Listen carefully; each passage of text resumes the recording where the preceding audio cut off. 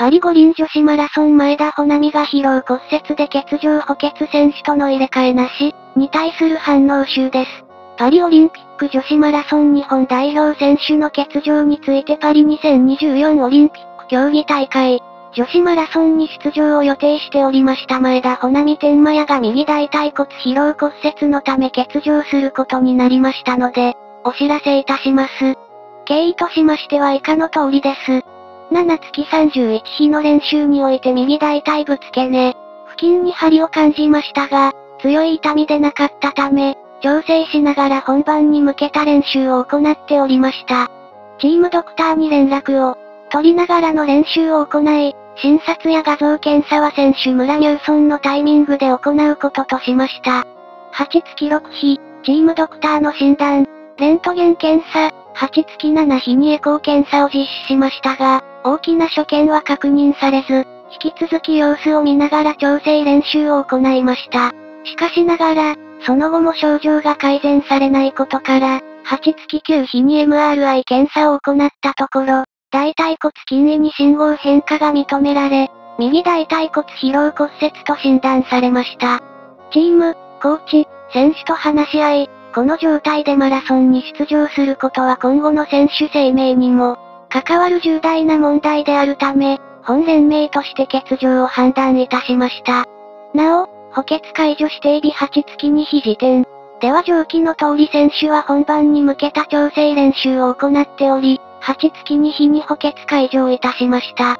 そのため、補欠選手との入れ替えはございません。引用はここまでです。天満やしっかりしろ。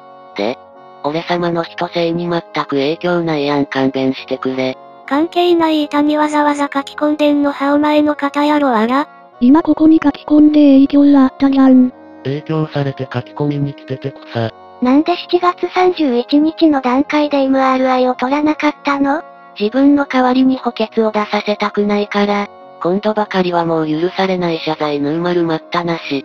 隠して、五輪に行きたかった、ということ？それを、直前でゲロした、ということ？これは人の道に反するだろ。大体選手は、出場できなくて怒るだろ。これは仕方ない。補欠解除して日8月に日が五輪ルールであるかのような発表の仕方。自己管理のできないやつ。え、もうマラソンやったの？なんで補欠の解除したの？前日や当日解除は規則で認められないの？そもそも補欠解除指定日なんてのは日本陸連が独自に設定してるもの五輪にそんなルールはない。ええー、なんかひどいな。今日の男子マラソンの金メダリストは急遽エントリーされた補欠選手。だからエントリーさえしてればアクシデントの最直前でも交代できる。ありゃあ仕方ない。補欠はなぜ出せない？補欠解除したと書いてあるだろ。それがよくわからん。ソース読めよらが。見ねえよ。呆れたわら。要するに入れ替え期限過ぎるまでちゃんとした検査受けなかったもう一言書きたいけど自重する。なお、補欠解除して日8月に日時点では上記の通り選手は本番に向けた調整練習を行っており、8月に日に、補欠解除をいたしました。そのため、補欠選手との入れ替えはございません。これでわからないならどう書かれてもわからないのでは。この人はシステムがわからんのとちゃう？補欠なんてスタート1時間前まで替えが利くシステムにしてほしいよなって意味で。それはわかってるってことじゃん。追い込みすぎだよ。土佐も直前で欠場したよな。かわいそう。本人さぞかし無念だろうね今はゆっくり直してくれ。マラソンも終わりだな男も女も弱化丸だらけ。練習しすぎだな。これは辛い。痛そうを大事に。男子優勝の虎は補欠で前日に登録されたのに、デジャブ補欠いらねえ。今頃迷惑だなでねえんだったらさっさと補欠に譲れよ MRI くらい最初に取るだろ。アホかよ。開会式15日前くらいから補欠との交代も無理だったんじゃねえかな。システムがおかしいよな。おかしいと思うよ。日本女子は強いから、最初から5名を代表として走らせてくれよ。カンボジアと代表とかいらないだろ。それ言ったらケニアエチオピアは何人になるんだ。アフリカ勢 VS 日本の構造になるよね。もしフランスがマラソン強豪国だったらそれくらいのルール変更して競うわら日本しっかりしろいろんな意味で。補欠にも金かかるし、無駄に問う人の時間拘束することにもなるからある程度事前に補欠登録解除するらしい。これくらいの高確率なら無駄とは言えないな。システムはおかしくねえよ補欠登録を続けておけば交代できたのにわざわざ登録解除して補欠なしにすることを、日本チームが自分で選択したんだよ。だから日本チームのシステムがおかしいじゃないか。ただでさえ悔しい補欠をパリにまでは連れてけない日本的な判断もあろう。MRI 取っとけばいいとかそういう話ではない。なんで7月31日に違和感あるのに MRI 取らないの？その理由が知りたい。マジで？記事に書いてると思うんだけど。理由書いてないじゃない。言い訳がましく強い痛みじゃないとしか。疲労骨折なんだから痛みを感じ始めた瞬間を遡ればそんなもんだろ。これで MRI なら毎日 MRI だよ。って笑われそう。補欠解除の日が間近なのだからそれで良いんじゃね。外国で MRI とってもアスリートの細かい怪我を見つけるのはなかなか難しいし時間はかかるもんだよ。日本で検査してドクターが5人いれば、その日に結果わかるけど、遠征先の外国だとそれなりに時間はかかるよ。8月9日に MRI 検査を行ってその日にわかってるじゃない。フランスで検査してその日にわかってんのに何言ってんだ。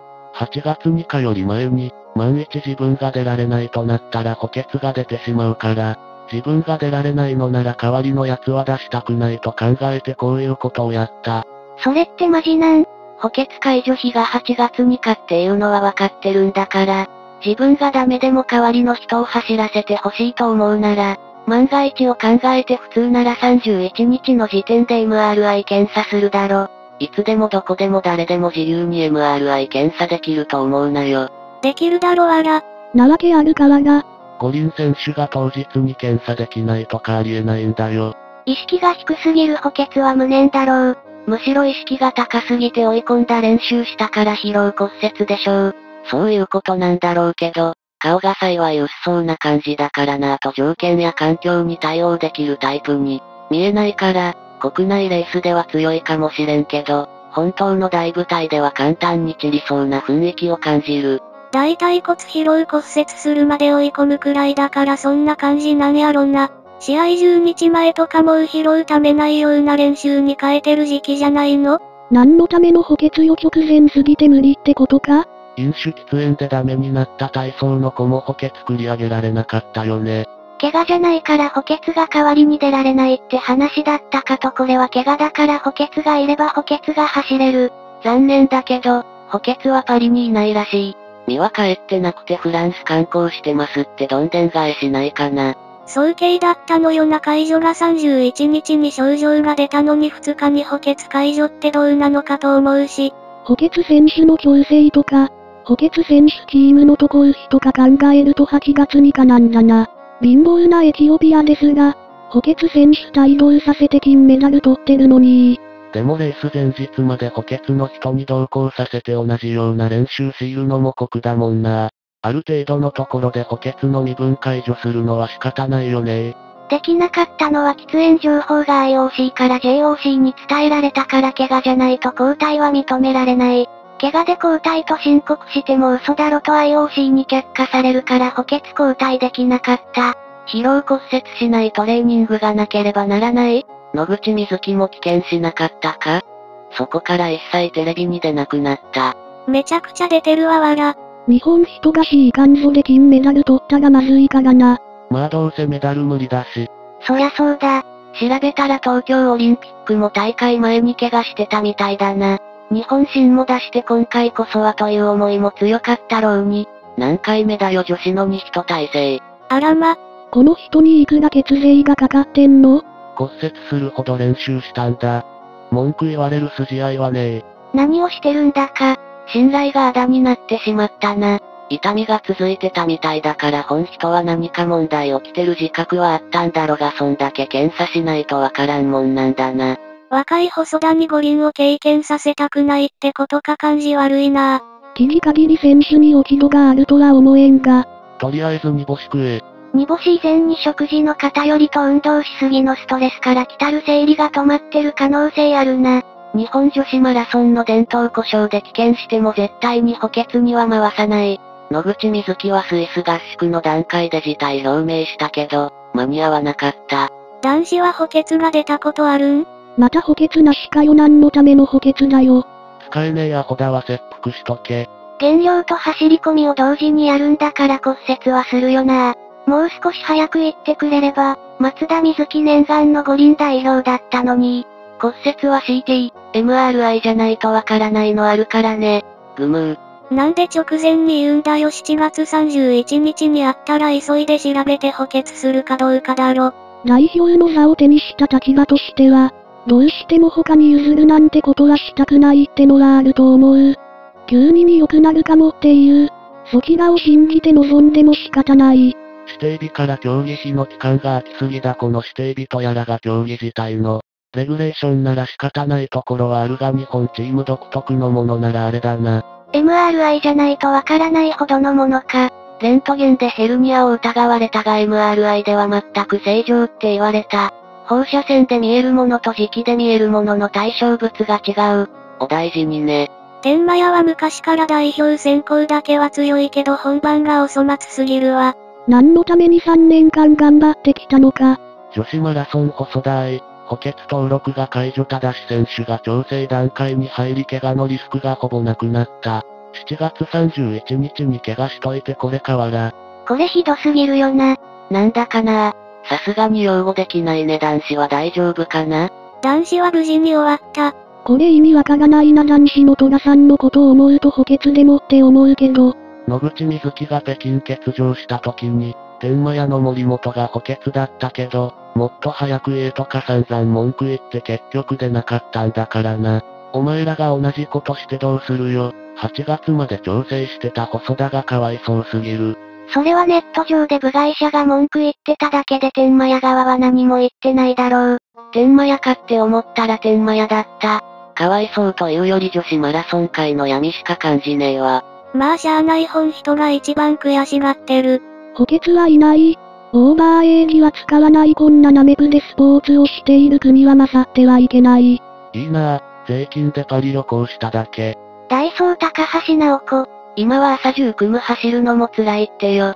52歳やぞ。顔女しやん。何のために補欠行ったの？これって結果的には税金で旅行に行っただけだよな。今日の男子マラソン優勝トラさんは昨日、急に決まったとか言ってたな。マラソン金メダルのトラは補欠だった出場予定だったレンマが直前に負傷し繰り上げ出場。え？直前で交代いけるやんどうしてやらんの？陸連が日本独自で補欠解除費とかも受けてて補欠選手たちはもうとっくに補欠解除されておそらく五輪出るための強度のトレーニングしてない現地にいない可能性もある。頑張ってたんやろなライソルが絡んでくる話だから MRI 検査を怠ったのはミスやな。細すぎたからな追い込みすぎたな監督の責任。疲労骨折するにしても足の甲とかならまだしも大腿骨って。明日出られないなら補欠を選んだ意味ないじゃん。陸連バカなの？今日の金メダルの虎は補欠からだよ。マラソン選手はいつも痛みを抱えてるから、骨折なのかいつもの痛みなのかわからないし、ましてや五輪だと興奮して一時的に、骨折の痛みも和らいだりするから、見つけるのが大変なんだよな。無事で名馬というからな。故障も実力のうちよ。観光しに行ったのか？男子マラソンのエチオピアは直前で補欠に変更していたよな。補欠解除は日本陸連のシステムなんか？補欠解除費は日本陸連が独自に設定してる。やはりそうか。ありがとう闇しか感じないわ。日本陸連がくまるやんけ制度見直せよくまるが。なんかいつも補欠走れないな。税金で観光しただけか。なぜギリギリまで引っ張ったんだ補欠かわいそうやろ。大腿骨なんかも疲労骨折あるんだな飛骨とかは聞くけど、野口みずきの時は補欠の人も怪我になったのか仕方ないけど巡り合わせが悪いこともあるな残念だ。大腿骨の骨折ってどんだけだよ大腿骨頭骨折なら理解できるけど。補欠はおまるつでも舐めてろってことやな。マラソンは試合少ないのに直前の故障多いなコンディション調整とかないのかな？調整練習 ?7 月31日に怪我して10日間も練習続けて9日にやっぱやめたってどういうこと？1日10キロしか走らないとしても100キロ走ったんだよねそれとも。歩くのも困難で選手村の部屋で BB 泣いていたとか？怪我した時点で痛い年始世界大会や年始諦めるべきやろがい。補欠解除が早すぎだろ。検査を登録解除後まで隠しておくとか、天満屋は自分たちのことだけで日本代表のことを全く考えていないな。補欠が一番かわいそうだな。直前で出れない補欠なんて、何の意味もないギャンバ丸なのか。そろそろオリンピックでちょうど疲労骨折するような調整や選考はおかしいと気づけよ。じゃあジューム走って危険すればいいじゃない前田ちゃんも五輪出たと言いたいだろ。なおさら国民からブーイングを起きそう。疲労骨折してまで走るとか本末転倒。